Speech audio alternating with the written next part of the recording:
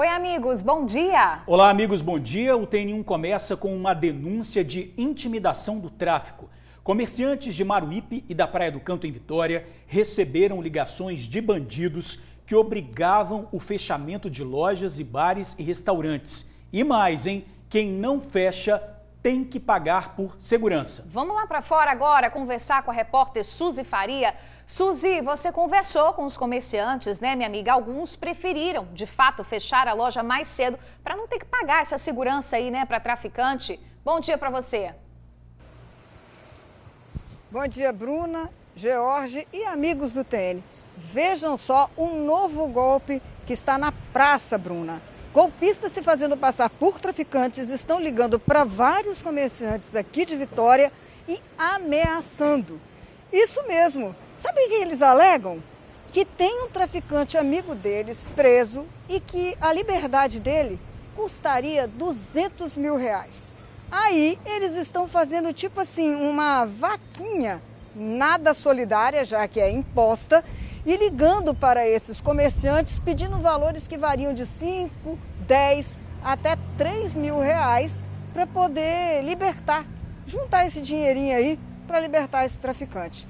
Na verdade, isso não passa de um golpe e que, e que muitos comerciantes estão recebendo essa ligação.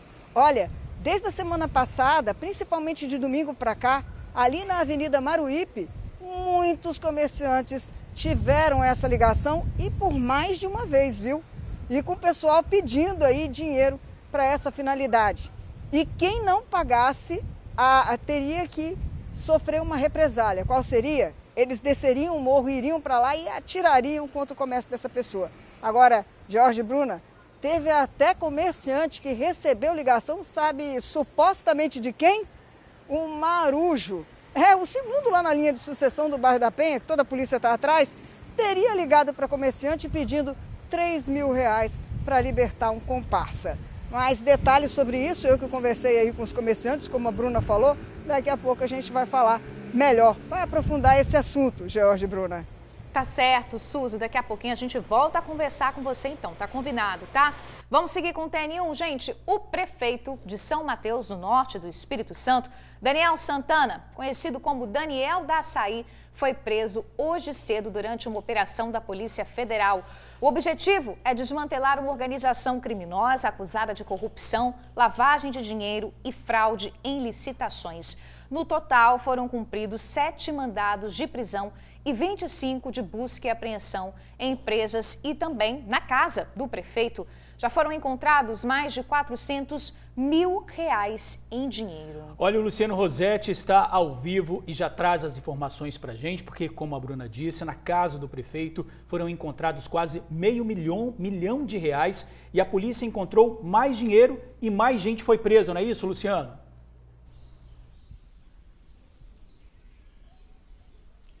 É isso mesmo, Jorge, Bruno, amigo do TN, boa tarde para todo mundo. Além do prefeito de São Mateus, foram detidos também uma procuradora do município e quatro empresários suspeitos de participar desse esquema milionário, né? As investigações começaram com base em denúncias de dispensa ilegal de licitações com exigências de propina é, por parte das empresas, né? A prefeitura exigia propina das empresas. Essa propina gerava em torno de 10 a 20% dos valores dos contratos que eram celebrados. Né? A empresa pagava essa propina para a prefeitura e, em contrapartida, a empresa tinha aí vantagens né, com relação à prefeitura. Então é aquele esquema, uma mão lava a outra. E além disso, para agravar ainda mais a situação, esses envolvidos, para dar um cala-boca na população, para colocar panos quentes no assunto, eles distribuíam cestas básicas para as pessoas, para evitar possíveis denúncias, né? O delegado superintendente da Polícia Federal do Espírito Santo, Eugênio Ricas, ele gravou um vídeo explicando como é que esse esquema funcionava e também os detalhes das investigações. Vamos ver, por favor. Hoje a Polícia Federal em São Mateus, no norte do Espírito Santo, deflagrou a Operação Minúcios. Foram cumpridos sete mandados de prisão temporária e 25 mandados de busca e apreensão. Ao que tudo indica, ao que nós, é, é pelo que nós descobrimos nas investigações realizadas até o momento, um grupo criminoso, uma organização criminosa se apropriou da prefeitura em conluio com, com, com inúmeras empresas para fraudar licitações e desviar recursos públicos. recursos inclusive que eram é, provenientes do Fundo Nacional para o Desenvolvimento da Educação, recursos que vieram do Ministério do Turismo, recursos que deveriam ser aplicados no combate à pandemia de Covid-19, foram apropriados por essa organização criminosa. As investigações agora continuam, é, é, o objetivo é obter mais provas ainda e certamente essas pessoas que se apropriaram dos recursos públicos no município de São Mateus vão passar muito tempo atrás das grades.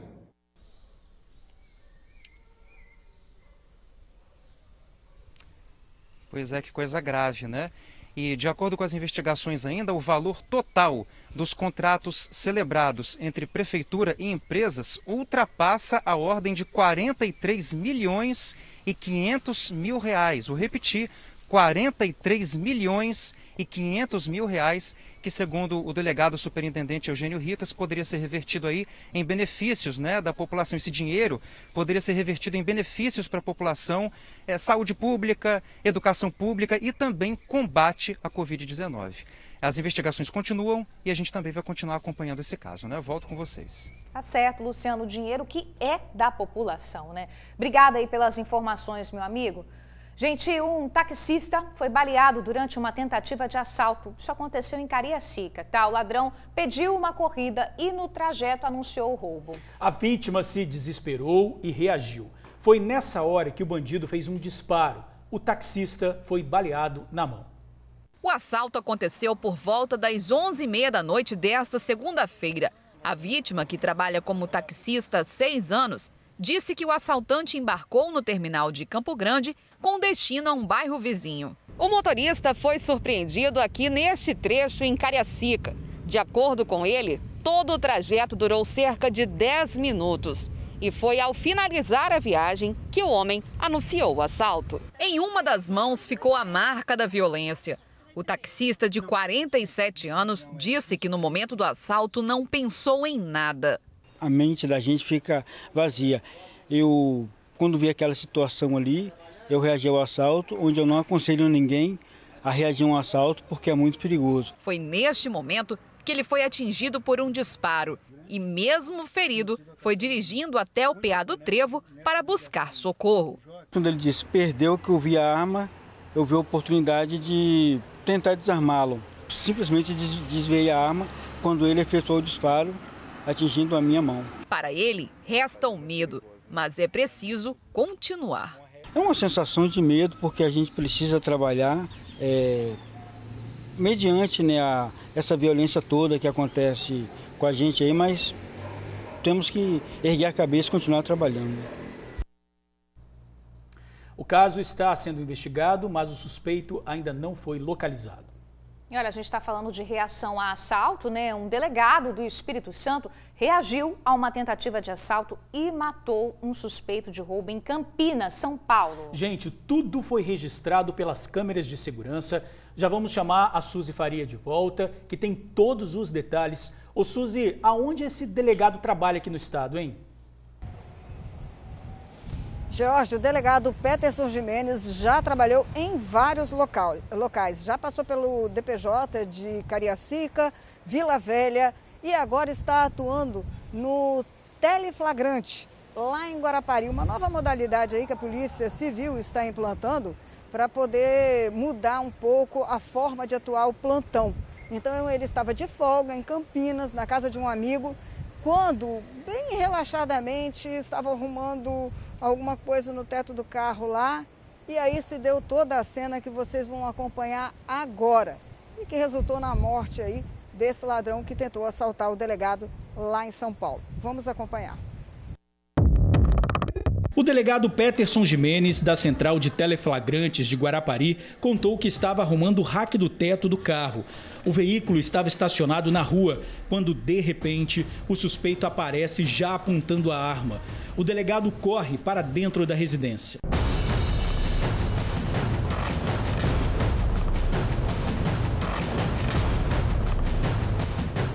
Daí de repente eu olhei pra cá, o bandido veio dali assim, ó, correndo, falando fica, fica, fica. Daí eu corri por aqui pelo portão, corri aqui e ele veio correndo atrás de mim também. Daí eu entrei nessa porta, entrei aqui e aqui é onde foi acontecendo as coisas. eu consegui passar por aqui e peguei a arma que estava lá em cima. Me abaixei, daí eu tive que fazer o golpe na arma, tirar ela do coldre, fazer o golpe. Daí eu acho que eu efetuei uns seis disparos por aqui, uns cinco, seis disparos por aqui. Daí eu esperei um pouco, quando eu olhei por ali, ele estava aqui deitado com a cabeça levantada e com a arma na mão assim no colo. Daí eu acho que eu efetuei mais uns cinco disparos, eu acho que no total foram 11. Daí eu fiquei um tempo ali esperando. Daí eu olhei aqui para ele, como a cadeira tá um pouco na frente, olhando de lá. Daí eu verbalizei, mandei ele largar a arma, largar a arma. A arma dele tava aqui do lado do boné.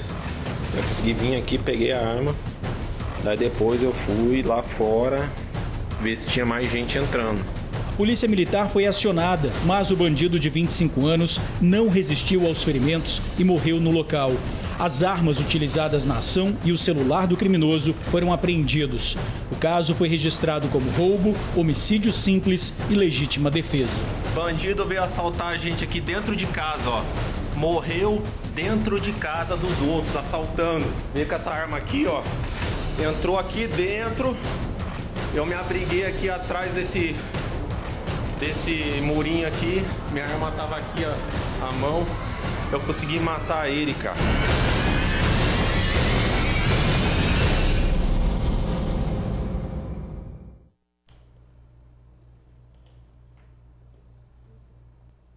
Acontecer com essa fome aí que esse bandido, que esse assaltante armado entrou na residência já de arma em punho. Acabou que lá dentro as câmeras não mostraram isso, mas o delegado acabou por atingi-lo e ali mesmo ele ficou. Olha, nós entramos em contato com o delegado, ele falou com a gente, contou mais uma vez aí como foi a sua reação, como tudo isso aconteceu. Vamos ouvir a sonora dele? Eu estava colocando uma mala no rack do carro quando fui surpreendido por um indivíduo que estava vindo armado em minha direção e, e, dizendo perdeu, fica, fica.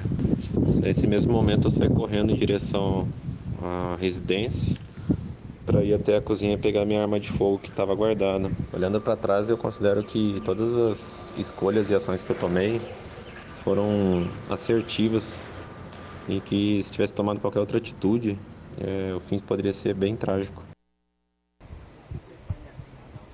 Pois é, como vocês podem ver, essa situação acabou sendo registrada ali por legítima defesa, o que as câmeras acabam revelando, né, George Bruna? Que afinal de contas o delegado estava desarmado, fora de casa, fazia um trabalho manual ali no veículo dele, junto com um amigo. Quando foi seguido para dentro da sua residência, esse homem foi atrás armado e terminou desse jeito, né? Ele conseguiu revidar, pegar a arma a tempo, se proteger e o bandido acabou morto. E essa história terminou aí como uma questão de legítima defesa. O delegado Peterson Jimenez, como nós acabamos de falar, trabalha na central de teleflagrantes lá em Guarapari. George Bruna.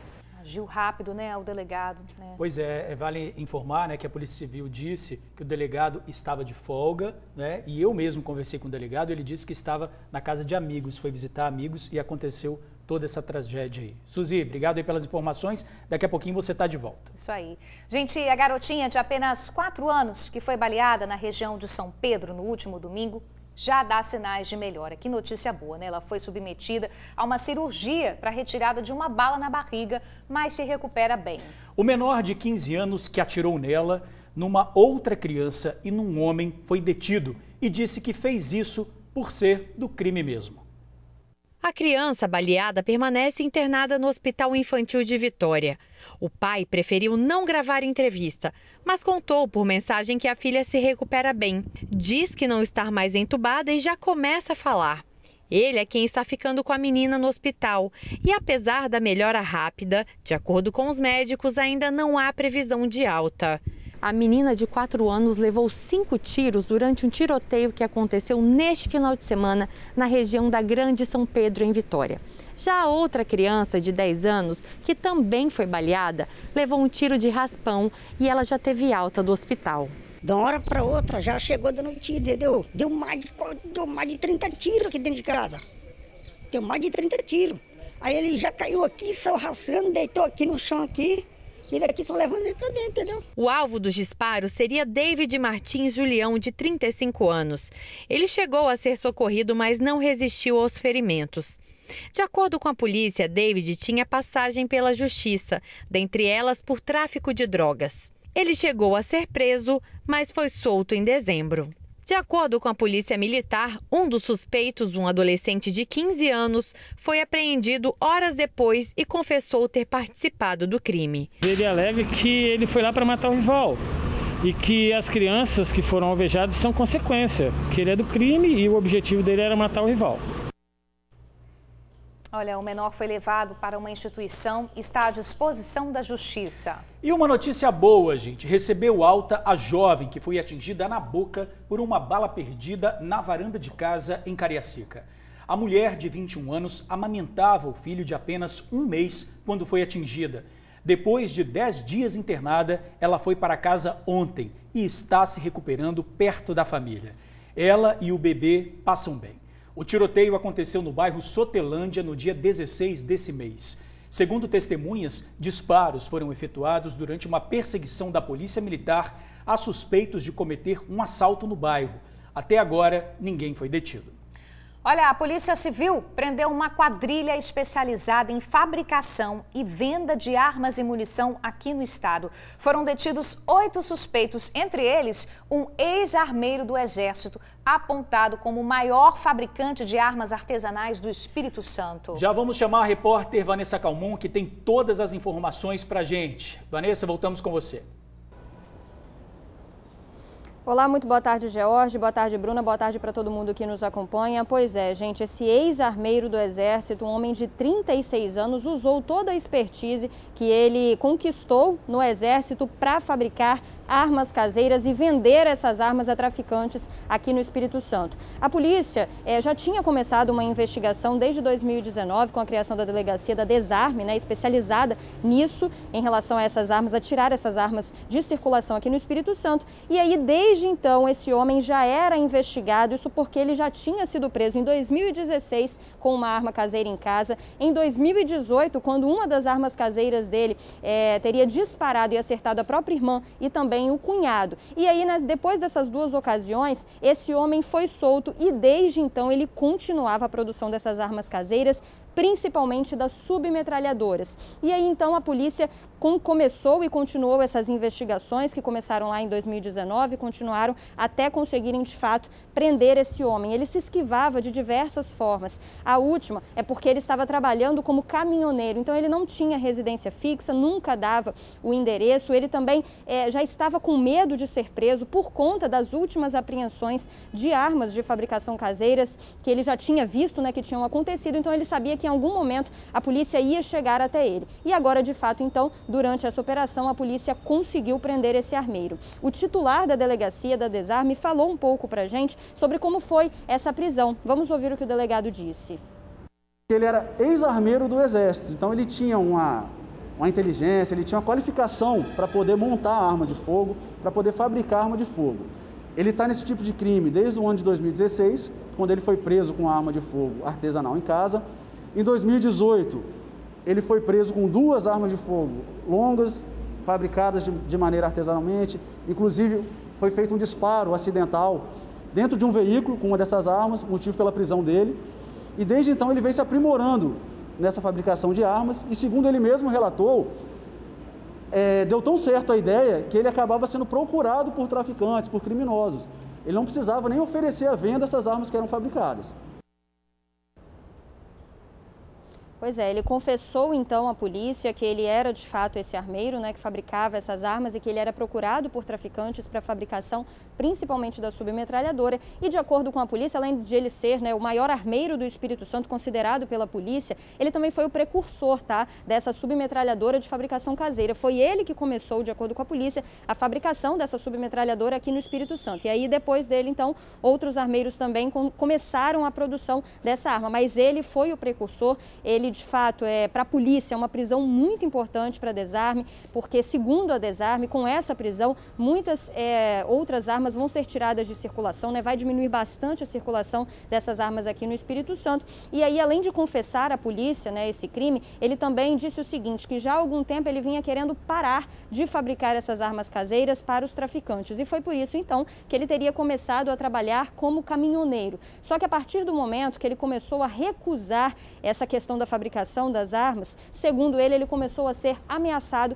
pelos traficantes. Então, seria isso então que estaria fazendo com que ele mudasse é, todas as vezes de endereço. Mas, como a polícia conhece esse homem, já vem investigando esse homem há algum tempo, a polícia acredita que ele estava de fato tentando fugir dessa ação, dessa operação, porque ele sabia que estava sendo investigado, ele já tinha sido preso por duas vezes, várias armas já tinham sido apreendidas e armas essas que tinham características próprias, que indicavam que ele seria o fabricante, né? Isso de acordo com a investigação da polícia. Então ele sabia que em algum momento a polícia chegaria até ele e agora, de fato, então ele foi preso na casa da sogra em Colina da Serra. É, outras sete pessoas também foram presas durante essa operação, de acordo com a polícia, todas elas envolvidas nesse esquema do armeiro. Inclusive, gente, lá em, em 2016, né, quando ele fabricou a primeira arma caseira, em 2018 foi preso, em 2020, em abril de 2020, nós temos várias fotos aí que estão passando, é, de uma fábrica de armas que já tinha sido encontrada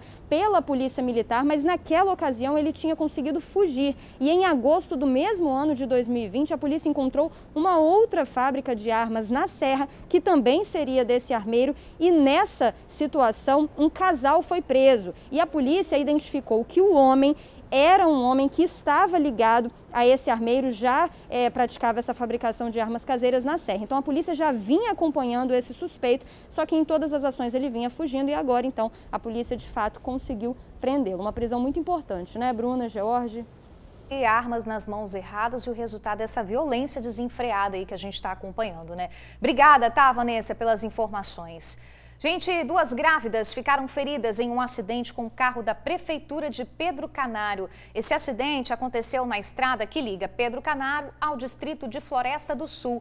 As vítimas seguiam para uma consulta médica. No veículo estavam quatro pessoas, duas gestantes, um acompanhante e um motorista. Os dois foram socorridos e liberados. Já as duas grávidas foram encaminhadas para o Hospital Maternidade em São Mateus para a realização de exames. A Prefeitura Municipal de Pedro Canário está prestando toda assistência às vítimas do acidente. E agora a gente fala da violência que tira a paz de moradores e priva os estudantes de ter uma rotina normal. Mais uma vez, o bairro Nova Palestina, em Vitória, enfrenta a insegurança que parece não ter fim. Numa escola da região, pais receberam o aviso. Hoje não tem aula presencial. Quem esteve por lá foi a repórter Suzy Faria, que já está de volta aqui com a gente. Suzy, qual era a situação por lá, minha amiga? Bruna, tem ruas que você passa lá que parece ser uma rua deserta, que não mora ninguém e ninguém coloca nem a cara para o lado de fora da janela para pegar um ar fresco aí. Tamanho medo que essas pessoas estão sentindo com esses constantes ataques que têm acontecido naquela região. E que, se eu me lembro bem, começaram, olha a coincidência infeliz, desde que a DHPP fez uma operação no Morro da Conquista para pegar uns assassinos de um rapaz lá de Santo André. Nesse mesmo dia morreu um rapaz lá embaixo, nessa rua Buraco Quente, é, chamado Breno. A partir daí, os moradores daquela localidade, da região ali, só vêm sofrendo com os diversos ataques que têm acontecido e que nós já mostramos aqui diversas vezes. E o problema só vem se agravando, mesmo com todas as atitudes que tomou aí o governo do estado para colocar viaturas não apenas da Guarda Municipal, mas da Polícia Militar patrulhando aquela, aquela área ali insistentemente. Hoje não teve aula em duas escolas, na Neuza Nunes e no Cajum. Já não vem tendo aula há algum tempo. Crianças e pais de alunos chegaram até ir lá hoje, mas deram com um portão fechado. Vamos acompanhar a matéria que eu fiz lá hoje pela manhã. Na escola Neuza Nunes Gonçalves, em Nova Palestina, Vitória, o portão estava fechado. Não havia cartaz, mas quem chegava era avisado por funcionários que hoje não haveria aulas presenciais. Pergunta lá, você vai ver. Pega aí, Sérgio. Pega não. Sabia não, meu amor, que ia ter aula? Sabia não. Falaram para a senhora aqui. Aqui não vai, não vai ter aula hoje. Até a Guarda Municipal de Vitória foi pega de surpresa. Ao chegar para fazer a ronda, como de costume, descobriu que não tinha alunos para dar segurança. O motivo está aqui. Ontem, pelas redes sociais, esse recado foi encaminhado aos pais. Nele dizia que as aulas de hoje seriam remotas. Motivo: a violência ao redor dessa região que tem colocado inocentes em risco. A equipe da escola informa que iria hoje à Secretaria Municipal de Educação de Vitória discutir sobre a questão da segurança na comunidade. O problema dessa escola não está atrás desses portões, está aqui do lado de fora. É que muitas mães, sem gravar entrevista, relataram para a nossa equipe que o maior medo é exatamente no trajeto, na rua de acesso das casas delas aqui para a escola. Motivo: muitas delas estão sendo abordadas no meio do caminho e a preocupação é que não se repita nesse trajeto o que aconteceu no domingo passado lá no Buraco Quente, onde um carro passou atirando na rua, acabou matando um adulto e ferindo duas crianças. E uma das consequências está aqui, na rua Jorge Rosa, o Buraco Quente, não havia quase ninguém, um verdadeiro deserto mesmo com o patrulhamento intensivo da Polícia Militar, que não deixa de circular pelo bairro. Quem não se mudou prefere ficar dentro de casa, não quer entrar para a estatística de baleado ou morto. Nenhuma criança é vista na rua também. As perdas do final de semana são exemplos de tragédia que ninguém aqui quer repetir. Muitos dos ataques que acontecem aqui na rua Jorge Rosa, conhecida como Buraco Quente, Nova Palestina, vêm de um local em específico, lá de cima, ó, do Morro da Conquista. E toda vez que esses ataques acontecem, acabam em consequências desastrosas. O Cajum ficou fechado, sem aulas na semana passada, sem aulas hoje, o local virou uma escola fantasma. A alegria dos gritos das crianças deu lugar ao silêncio ensurdecedor da violência. Inclusive essa situação trágica que aconteceu no último final de semana, no domingo, em que muitas pessoas, inclusive, estão se mudando do bairro. Informações que chegaram até a nossa equipe é que os moradores mais antigos vêm recebendo ameaças diariamente de invasão na residência e até como aconteceu no domingo também, de colocarem fogo em algumas casas. Por isso, muitos moradores daquela região estão se mudando como até a Vanessa mostrou na matéria que ela fez no domingo. Muitos moradores com medo, Jorge Bruna, estão se mudando dali, outros não querem já colocaram ah, casas à venda. E quando eu passei lá hoje de manhã, consegui conversar com uma moradora que disse o seguinte: Suzy, aqui ninguém mais fica na rua, ninguém mais coloca o pé para fora de casa, tá todo mundo com medo, ninguém sabe como isso daqui vai terminar. Então, como vocês estão vendo, apesar de todas as, as alternativas que o governo colocou ali ainda as pessoas estão com medo, estão apavoradas, sem saber o que o futuro lhe reserva, ou se para ir na padaria ou à escola, eles não vão ser atingidos aí com um disparo de arma de fogo aí, uma bala perdida. Jorge Bruna. Pois é, não bastasse isso, né, Suzy? Tem também essa denúncia aí de que comerciantes de Maruípe e também da Praia do Canto estão sendo extorquidos por traficantes. Né? Eles têm que fechar a porta se não derem dinheiro para garantir a segurança, né? Você traz novas informações sobre esse caso, não é isso? Pois é, George, eu descobri que comerciantes também da Mata da Praia receberam a mesma ligação. A avaliação que alguns comerciantes que eu conversei estão fazendo é que nada mais é do que um golpe. Lembra daquele golpe do sequestro? Que ligava aí para alguém aleatoriamente dizendo que era pai, mãe, irmão, filho e ameaçavam matar a pessoa em troca de dinheiro? Os comerciantes desses locais que eu fui estão pensando que esse é um golpe muito parecido. Mudaram aí para extorsão. Mas olha, independente de qualquer coisa, na hora que eles recebem a ligação, as pernas tremem. Eu fui lá hoje conversar com eles, então vamos acompanhar aí na matéria. Os comerciantes da Avenida Maruípe, em Vitória, estão sendo vítimas de um novo golpe. Há duas semanas, eles têm recebido telefonemas ameaçadores. Do outro lado da linha, a pessoa que liga diz que é de facção e tenta tirar dinheiro. Perguntei de onde que era, aí ele titubeou um pouco e eu senti pelo sotaque dele, sotaque paulista, né? E pedindo, depois começou a ameaçar que a gente tinha que dar o dinheiro, em torno de 5 a 10 mil reais, porque senão eles passariam aqui 10 minutos depois para fechar a loja na bala. Esse comerciante só ontem recebeu três ligações. Os cinco comércios aqui. Entre domingo, entre domingo, meio-dia, até ontem, 16 horas. Fora o que deve estar acontecendo em outros lugares aqui na Grande Vitória. Porque isso não vai parar, pode ter certeza. Em um outro comércio, a ligação não se completou. Mas antes de cair, os funcionários ouviram que a primeira palavra do golpista foi se identificar como traficante de um morro, bem próximo dali.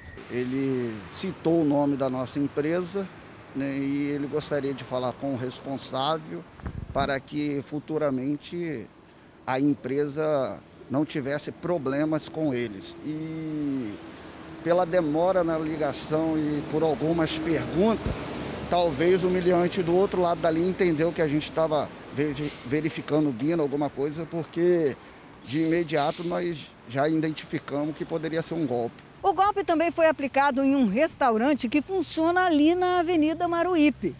Esse restaurante recebeu uma ligação por volta de 7h40 da noite de domingo, horário de bastante movimento.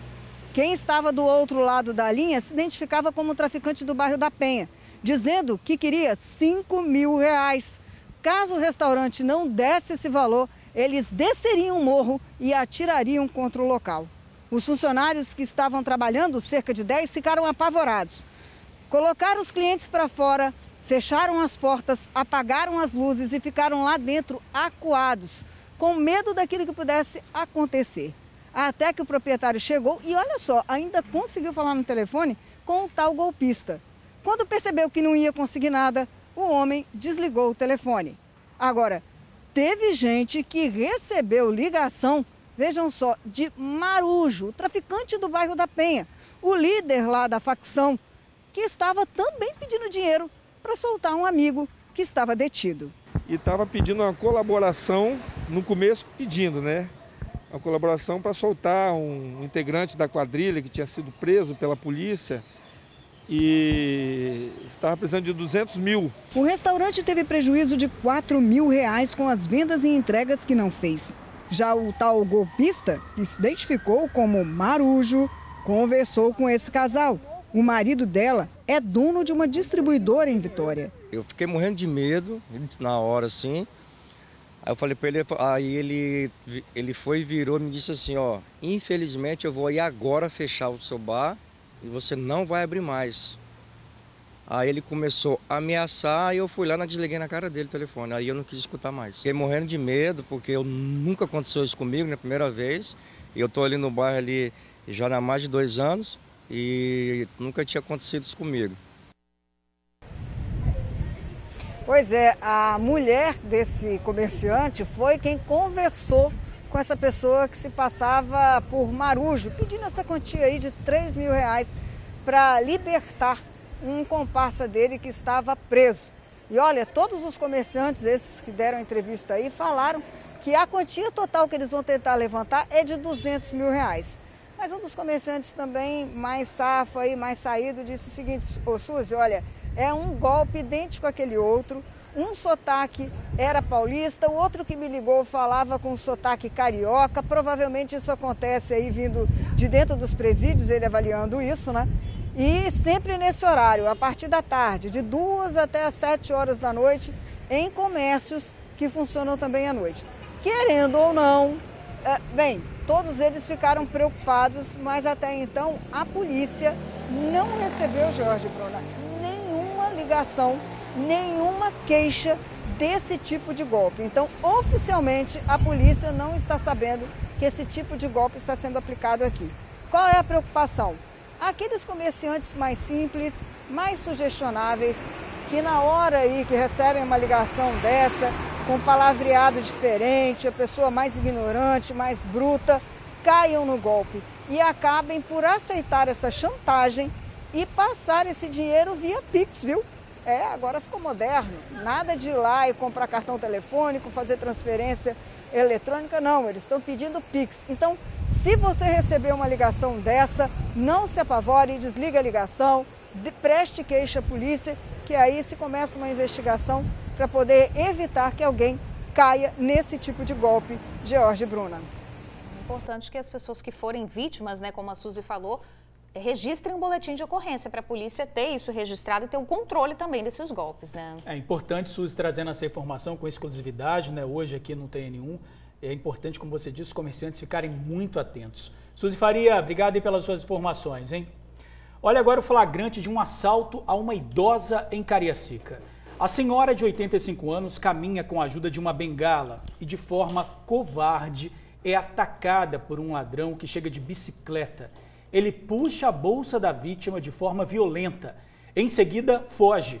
O caso aconteceu no bairro Morada de Santa Fé.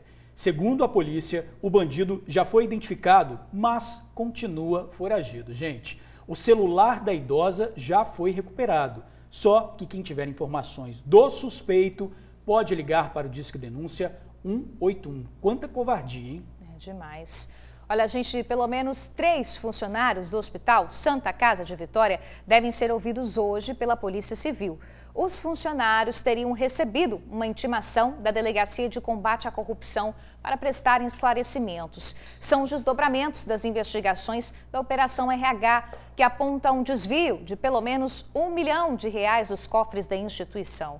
A Polícia Civil aponta um ex-gerente de recursos humanos, Jaciel Souza Câmara, como responsável por esses desvios. Ele contratou funcionários fantasmas com salários de até 25 mil reais.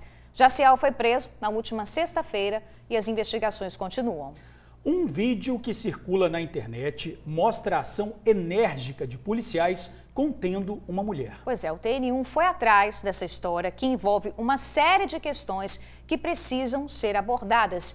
Quem vai trazer as informações desse assunto para a gente é a repórter Vanessa Calmon, que está de volta. Com você, Vanessinha. É isso aí, Bruna, George, todo mundo que nos acompanha em casa. É um caso que de fato merece a atenção, porque não foi somente né, a abordagem da polícia que chamou a atenção, que chama a atenção no vídeo, mas toda a problemática envolvida ali naquela situação. Eu, de fato, apurei as informações do que aconteceu ali naquele caso. É, são imagens chocantes, o vídeo da abordagem da PM e o porquê que a mulher estava naquela situação é o que você vai entender agora na matéria que eu preparei. O vídeo começa com um dos policiais dando uma joelhada na mulher. Em seguida, socos. Depois, os dois PMs tentam imobilizar a mulher no chão ela resiste.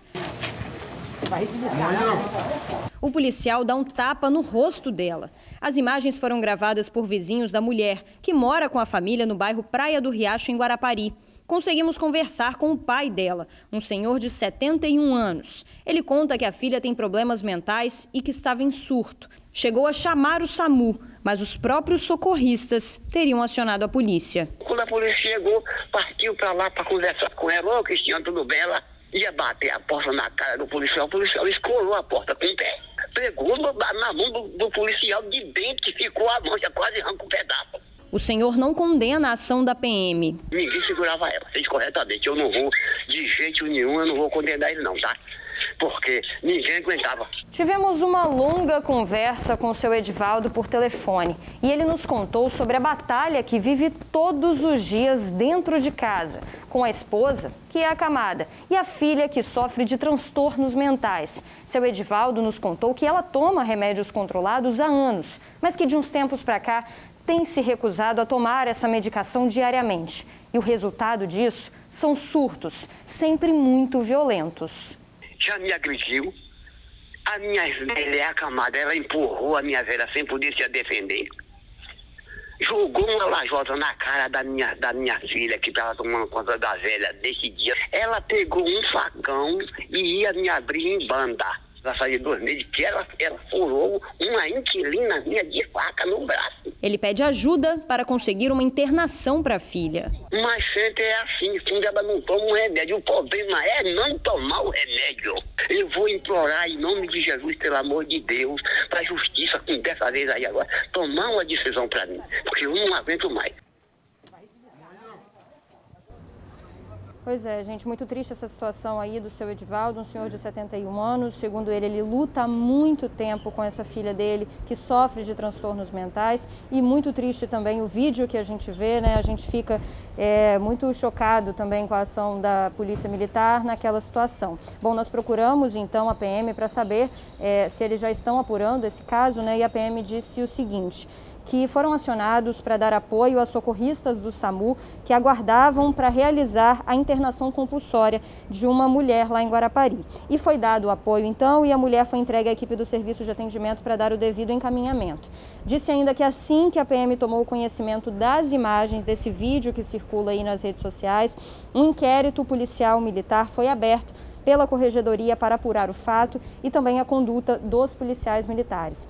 Agora, sobre esse outro assunto, né, gente, que a gente falou sobre essa questão dos transtornos mentais, muitas pessoas é, que cuidam de parentes nessa situação, que muitas vezes vivem essa realidade é, de parentes que acabam sendo até violentos, né, por conta de transtornos mentais, a gente procurou então primeiro a prefeitura de Guarapari para saber se essa família é assistida pelo município, né? E a prefeitura disse o seguinte: que a paciente é atendida pelo CAPS 2 e que informa que os familiares devem procurar o serviço novamente para a realização de novos atendimentos. Nós procuramos também a Secretaria de Estado da Saúde para saber se as pessoas podem procurar a CESA num momento como esse, para parentes que estão em casa.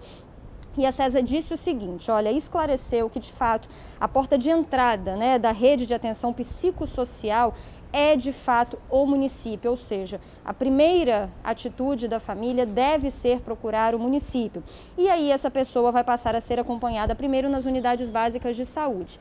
Caso seja constatado que é um caso grave de transtorno é, psicológico, aí sim, então, essa pessoa ela vai ser acompanhada pelo Centro de Atenção Psicossocial, que de fato é o CAPS, que nesse momento a Prefeitura de Guarapari disse que já atende a essa mulher. E aí, se acontecer de a pessoa ter algum é, transtorno mental muito grave e acabar entrando em surto, a orientação da Secretaria de Estado da Saúde é de fato acionar o SAMU 192 para ser encaminhado para o atendimento de urgência e emergência. E depois então a Secretaria de Estado da Saúde disse que tem sim leitos em alguns hospitais para o atendimento desses pacientes.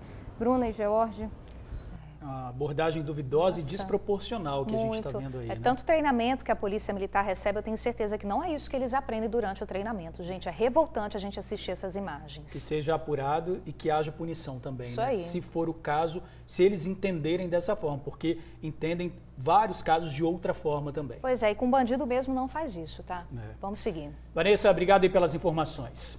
Os juízes suspeitos de vender sentenças aqui no estado vão voltar para o presídio. Alexandre Farina e Carlos Gutmann estavam detidos no quartel de Maruípe, em Vitória, mas ganharam liberdade em agosto deste ano após uma decisão liminar. Hoje, a liminar foi cassada pelo Superior Tribunal de Justiça e, com a decisão, os magistrados devem voltar ao presídio. As prisões foram pedidas pelo Ministério Público do Estado, que alegou que os juízes estariam interferindo nas investigações.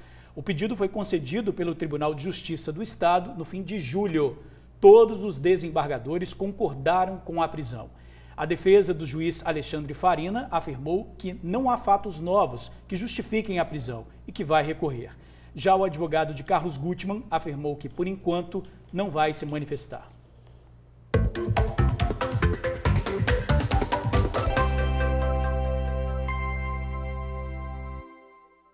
Bora de oportunidade de emprego, gente. São 206 vagas disponíveis no Cine da Serra.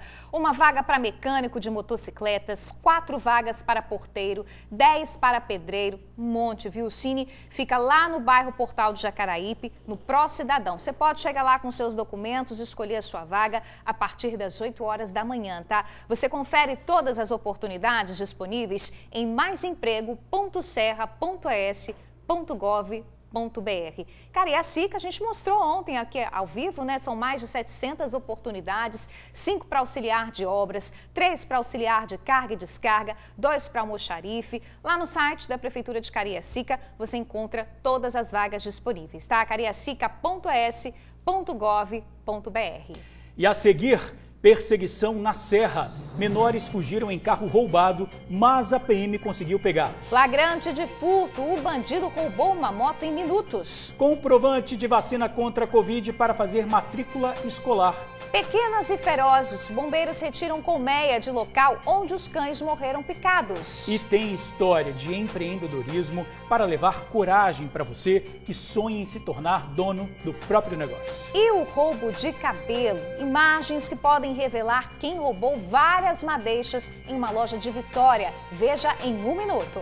Tem um de volta, nós mostramos aqui recentemente né, o roubo de cabelos. E agora, as imagens que podem aí revelar a identidade dos suspeitos, tá? O vídeo mostra três pessoas, entre elas uma mulher. O trio está na rua conversando e logo depois entra na loja que fica no centro de Vitória. Vejam que os dois homens carregam caixas. Os cabelos estariam ali dentro dessas caixas. O roubo foi na última semana. Os dois ladrões esvaziaram as araras. Não havia nenhum sinal de arrombamento na porta. Os suspeitos levaram os cabelos de maior valor, prejuízo aí de aproximadamente 200 mil reais. Pois é, num post nas redes sociais, a comerciante pede ajuda para identificar as pessoas que aparecem nas imagens.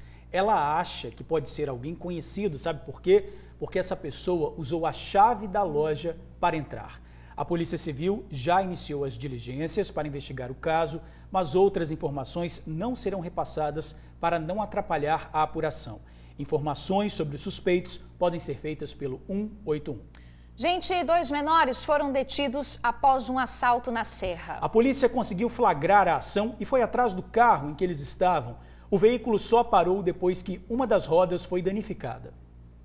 O vídeo mostra o momento em que policiais conseguem parar o carro onde os suspeitos estavam. O veículo teve uma roda danificada e ficou na frente de um condomínio. Muitos moradores desceram dos apartamentos e foram ver de perto o que acontecia. O assalto aconteceu na noite desta segunda-feira no bairro José de Anchieta. Prontamente, a polícia militar foi acionada e iniciou uma perseguição que teve até troca de tiros. Foi exatamente aqui, nesta rua, no bairro Vista do Mestre, que essa perseguição terminou. Os responsáveis pelo assalto eram dois menores de 17 anos. Segundo informações da ocorrência, para tentar inibir a ação policial e continuar a fuga, um dos menores atirou contra a viatura. No carro, a polícia encontrou uma arma de fabricação caseira calibre 9mm com 18 munições, dois carregadores, sendo um deles com capacidade para 30 munições e outro para 20. Um dos menores confessou aos militares que dispensou o celular da vítima durante a fuga e adquiriu a arma em troca de uma moto. O menor que conduzia o veículo acabou sofrendo uma lesão na boca e escoriações leves no joelho e foi levado para a UPA de Carapina. O caso foi encaminhado para a Delegacia Regional da Serra. Olha, os dois adolescentes de 17 anos vão responder por tentativa de roubo qualificado. Eles foram encaminhados ao CIASE. Atenção, pais e alunos. O Estado vai exigir o comprovante de vacinação contra a Covid-19 na hora da matrícula. É isso aí, tá, gente? O cartão tem que estar tá atualizado. Quem não vacinou contra a doença não se matricula para o ano letivo de 2022. É isso mesmo, Luciano? Quais as informações?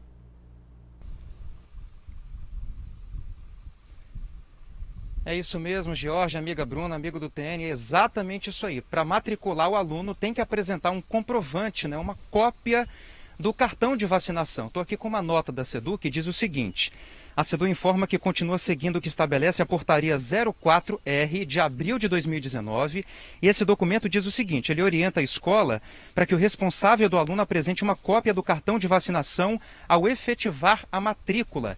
Então, no ato da matrícula, tem que apresentar uma cópia ou um comprovante de vacinação. Sem isso, nada feito. Volto com vocês. Certo, fica aí então um alerta para os pais, né, que já está aí na época de fazer rematrícula para o próximo ano letivo. Fica aí então esse alerta importante. Obrigada, Luciano. Olha, a gente vai ver agora a tranquilidade de um bandido para roubar uma moto lá em Cachoeiro de Itapemirim. As imagens de vídeo monitoramento mostram um homem de camisa preta entrando no estacionamento. Repare que ele já estava preparado para agir, ele segurava um capacete branco. tranquilamente ele se aproxima da bis que estava estacionada ali no terreno. Em questão de poucos minutos, ele consegue ligar a motocicleta, ainda bota o capacete para se proteger, né? E dá partida como se nada tivesse acontecido. Esse roubo aí aconteceu por volta das 11 da manhã.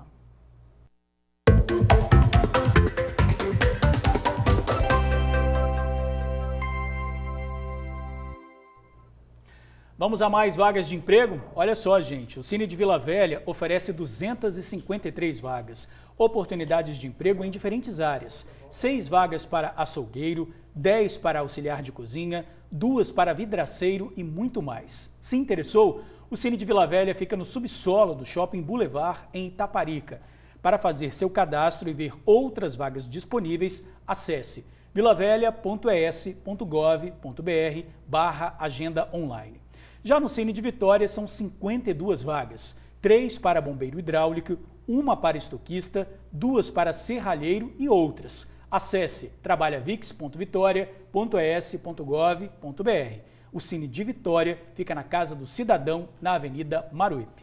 E o Corpo de Bombeiros foi até a casa onde cães foram atacados por abelhas em Guarapari para retirar a colmeia. Vocês lembram, né, das imagens? Os cães foram atacados por aproximadamente 15 minutos no quintal de casa, que fica na Praia do Morro. As câmeras da residência registraram o desespero dos cães tentando se livrar das abelhas, né? Dois cachorros morreram depois de sofrerem um choque anafilático desencadeado pelas picadas dos insetos. As colmeias, né? A colmeia estava numa área de vegetação e foi preciso atear fogo para conseguir destruí-la. A retirada foi nesta segunda-feira.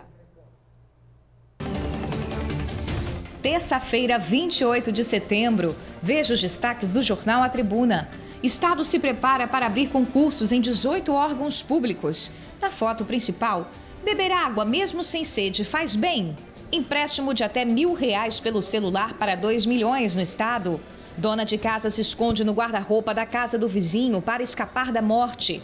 Em esporte, Vasco sobra em campo e faz a torcida cantar. Estágio na Arcelor com bolsa de até 923 reais. E veja ainda na edição de hoje, em AT2, despedida de James Bond em grande estilo. Aplicativos para monitorar o celular do filho. E moradores de rua acampam com barracas e cães em Vila Velha.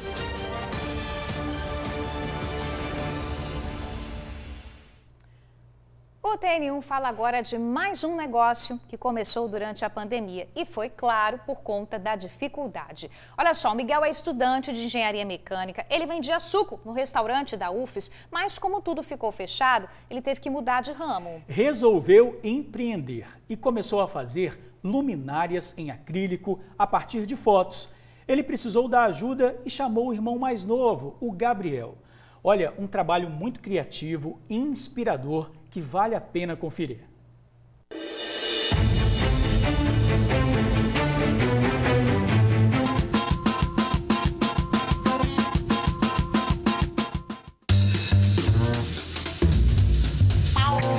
Sempre existiu um artista dentro de Gabriel. Só que ele não sabia ainda. Ou será que sabia? Depois da pandemia, né, meu irmão começou a trabalhar, começou a mexer com as luminárias, ele me chamou para fazer os desenhos, né, porque tinha bastante demanda e eu tive que aprender. E deu certo, né? A arte do Gabriel e do irmão dele é no acrílico. Sabe aquele momento inesquecível em família? Pois é, não deixa registrado só na foto não. Pede pro Gabriel que ele dá um destaque todo especial. O cliente entra em contato com a gente, né? Manda a foto que ele deseja fazer a luminária. Eu digitalizo o desenho na, pelo computador e mando para quem faz o corte de acrílico. Aí o acrílico pronto a gente coloca na base e entrega para o cliente. Tudo isso é fruto da pandemia. O irmão dele, o Miguel, ficou sem renda e teve a ideia por causa de algumas pesquisas que fez na internet. Daí chamou o Gabriel e os dois começaram a trabalhar firme. A empresa já completou um ano e tem ajudado bastante na renda da família.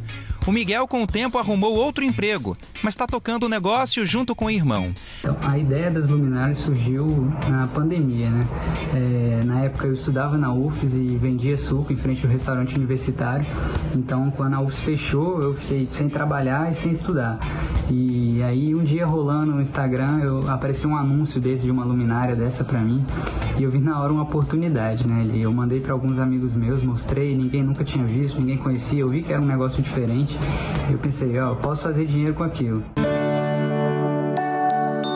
Aquela coisa que a gente falou no início, né, de que o Gabriel não tem dons artísticos? Pois é, a mamãe não concorda muito com essa história não, viu?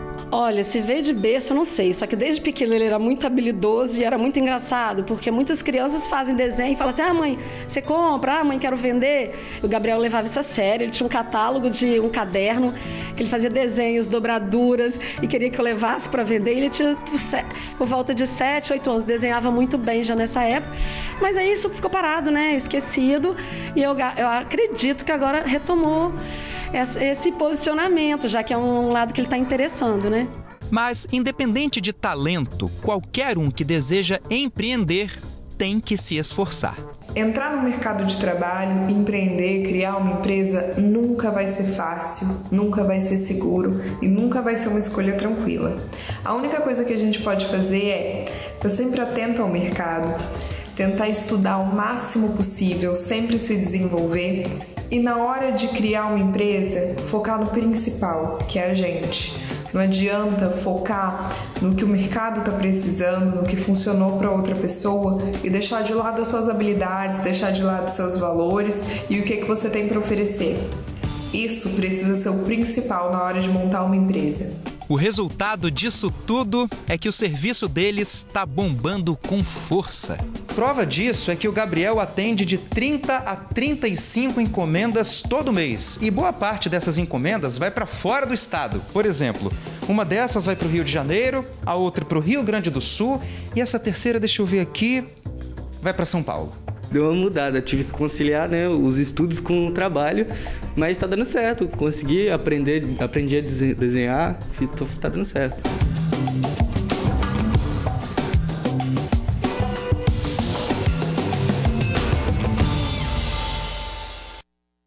Que ideia bacana, Lindo né? demais. Olha só, para conhecer e também encomendar o trabalho, vai lá no Instagram dos meninos, tá? É o arroba rabisca underline luminárias. Arroba rabisca underline luminárias. Vamos para uma pausa rapidinho? Vamos. Já já na volta tem a ronda de agendamento para vacina contra a Covid. Não sai daí não. TN1 de volta, agora meio-dia e 57. Vamos falar dos casos de coronavírus. Olha, de ontem para hoje foram registradas 19 mortes. Até hoje o estado perdeu 12.526 pessoas durante a pandemia. 583.276 pessoas tiveram contato com o coronavírus. Olha só, em relação aos agendamentos, é o seguinte, a Prefeitura de Vitória anunciou agora há pouco que abriu hoje, né, ao meio-dia, um, novos agendamentos para dose de reforço da vacina contra a Covid para pacientes imunossuprimidos que receberam a segunda dose ou a dose única há mais de 28 dias. Então, fiquem atentos aí ao site agendamento.vitória.es.gov.br. Em relação às demais prefeituras dos outros municípios, é, elas abriram agendamento ontem, tem que entrar lá no site das prefeituras para saber se ainda tem vaga disponível. Por enquanto, nenhuma anunciou um novo agendamento não, tá? Mas fiquem atentos aí ao longo do dia. Hora de encerrar o TN1, meio-dia 59. Acabou. Acabou. Beijo enorme para vocês. Até amanhã, gente. Valeu, gente. Obrigado pela audiência de sempre. E a gente espera amanhã, 5 para meio-dia. Até lá.